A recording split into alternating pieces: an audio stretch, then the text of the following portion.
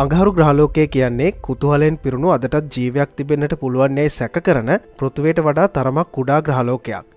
ඉතින් මේ ග්‍රහලෝකය නිරීක්ෂණය කරන්න අතීතයේ සිටම ඇමරිකාව සහ සෝවියට් දේශය විවිධ අභ්‍යෝකාශයානාවන් දියත් කර තිබෙනවා. අද වර්තමානය වෙද්දී මේ රටවල් දෙක පමණක් නොවෙයි චීනයසා ඉන්දියාවත් අඟහරු නිරීක්ෂණය කර අවසන්.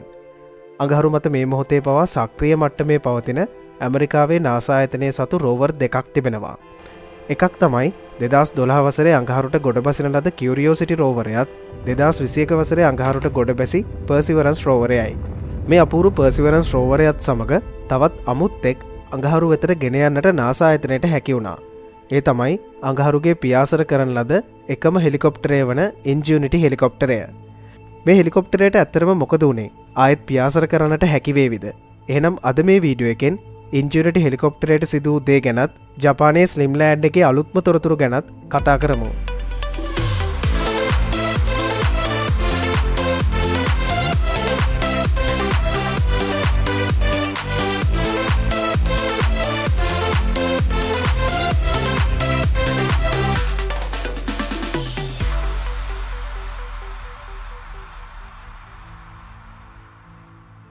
ඔයමගේ කලින් වීඩියෝ එක බැලුවනම් ඒ වීඩියෝ එක ඉංජිනට හෙලිකොප්ටරේ සමඟ තිබුණු සම්බන්ධතාවේ නැතිවී ගොස් නැවත ලබාගත්ත කියලා දැන් දන්නවා.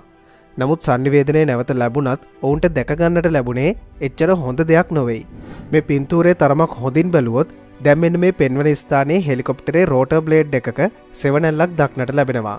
නමුත් මේ සෙවනැල්ල තුළ පෙනෙන්නේ හෙලිකොප්ටරේ රෝට එකට යම් හානියක් සිදුවී තිබෙන ආකාරය. මේ හානි සිදුවනේ කුමක් නිසාද කියන එක පැහැදිලිවම නාසාඇතනය ඇඩමිනිස්ට්‍රේට බිල් නෙල්සන් මහත්මා ප්‍රකාශයක් ඉදිරිපත් කරමින් කරුණු පැහැදිලි කරුන් ලැබවා. It is bittersweet that I must announce that Ingenuity, the little helicopter that could, and it kept saying, I think I can, I think I can. Well, it has now taken its last flight on Mars. As it was coming down for landing, at least one of its carbon fiber rotor blades was damaged. We're investigating the possibility that the blade struck the ground. This is what the blade looks like. It's a special fiber with a special contour.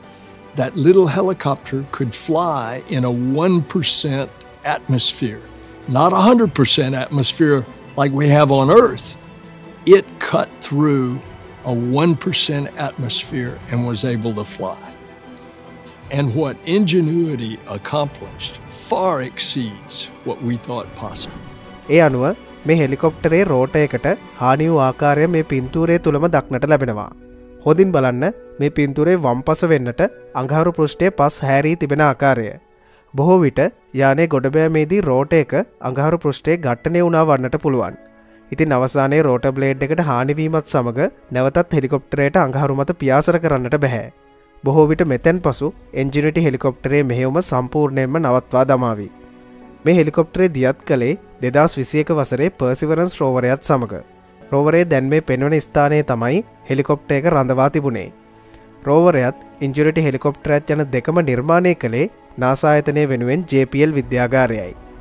JPL විද්‍යාඥයෙන් බලාපොරොත්තු වනේ හෙලිකොප්ටරේ මාසයක් වගේ කාලයක් අඟහරු තුළ ක්‍රියාත්මක කරවන්නට. නමුත් අවුරුදු තුනකට ආසන්න කාලයක් ඉංජිනටි සාර්ථකව අඟහරු මත පියාසර කරවන්නට ඔවුන්ට හැකි වුණා. මේ විදියට හෙලිකොප්ටරේ අඟහරු ග්‍රහය තුළ පියාසරි හැත්ත දෙකක් සිදු කරමින් කිලෝමිටර් දාහතය දශම හතක තුරක් ගමන් කර තිබෙනවා.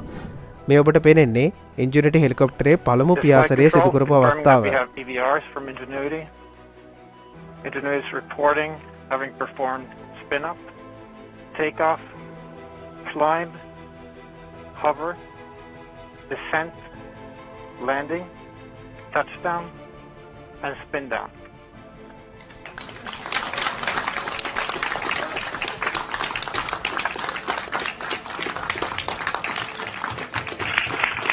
And altimeter data confirms that Ingenuity has performed its first flight the first flight of a powered aircraft to another planet.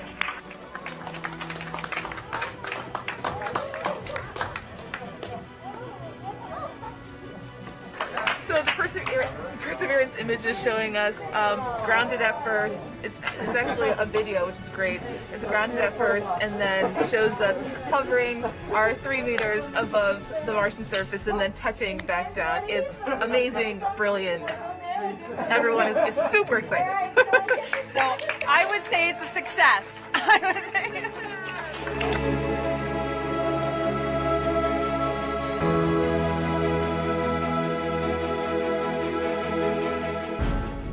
මේ දැක්වෙන්නේ මේ ආකාරයට හෙලිකොප්ටරේ එක් පියාසරයක් සිදු කරන අවස්ථාවකදී ලබාගත් අපූරු පින්තූරයක් මේ පින්තූරේ තිබෙන්නේ කුමක්ද කියලා දැනගන්න ඕන නම් මේ උඩින් දෙන ලිංක එක කලික් කරන්න කෙසේ වෙතත් මිනිසා විසින් නිර්මාණය කරන ලද පෘතුවෙන් පිටත ක්‍රියාත්මක වූ පළමුුණ හෙලිකොප්ටරය වන්නේ ඉංජුනටි හෙලිකොප්ටරය මේ ඇත්තරම මිනිසා ලබාගත් විශිෂ්ට ජයග්‍රහණයක් කියලා කියන්න පුළුවන් මොකද පෘතිවි වගේ නෙවෙයි අඟහරු කියන්නේ සම්පූර්ණයම වෙනස් වායගෝලයක් තිබෙන කොටින්ම කිවොත් සිහින් වායගෝලයක් තිබෙන ග්‍රහලෝකයක් ඉතින් මේ ග්‍රහලෝකයේ හෙලිකොප්ටරයක් පියාසර කරවීම හිතන තරම් ලේසි නැහැ.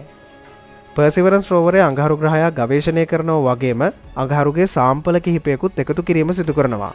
මේ සාම්පල පෘතුවයට රැගෙනන්නට විශේෂිත මෙහෙවුමක් දියත් කරන්නටයි නාසායතනයේ JPL විද්‍යාගාරය සැලසුම් කරමින් සිටින්නේ. මේ මෙහෙවුම උන් හඳුන් වන්නේ මාස් සාම්පල් රිටර්න් ප්‍රෝග්‍රෑම් යනුවෙන්. මේ ගැන සම්පූර්ණ විස්තරයක් මම කලින් වීඩියෝ එකක කරලා තිබෙන නිසා මේ වීඩියෝ එක ඒ ගැන කියන්නට යන්නේ නැහැ. මෙහිදිත් සාම්පල එකතු කිරීමේ කටයුතු සඳහා ඉංජිනට වැනි හෙලිකොප්ටර් දෙකක් අඟහරු මතට යැවීමටයි නාසායතනය බලාපොරොත්තු වන්නේ. අමතක් කරන්න එපා අඟහරුවලට විතරක් නොවෙයි සෙනසුරු ග්‍රහයාගේ චන්ද්‍රයක වන ටයිටන් මතටත් ඩ්‍රගන් ෆ්ලයි නමින් හඳුන්වන තවත් හෙලිකොප්ටරයක් දියත් කරන්නට දෙදස් විසියට වසරේදී නාසායතනය සූදානම් වෙනවා.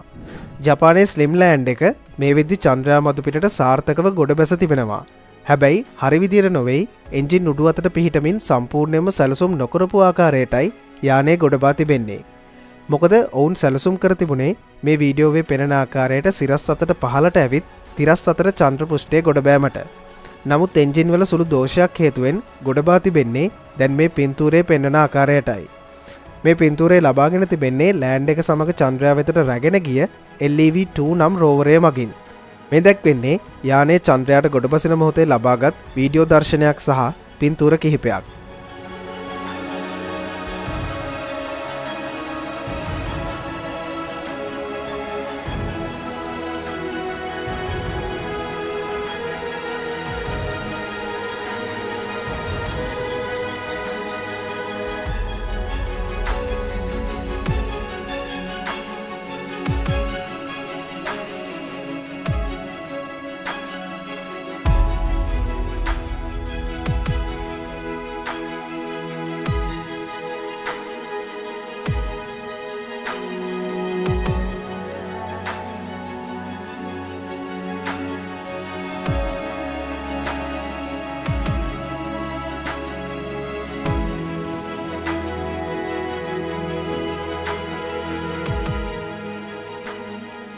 එනම් අපි ඊළඟ වීඩියෝ එකෙන් හමුවමු එතෙක් ඔබට සුබ දවසක්.